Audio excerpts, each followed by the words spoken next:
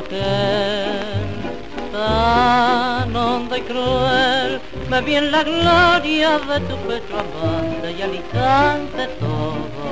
se acabó pues mi sueño imaginaba nada más que un soplo de placer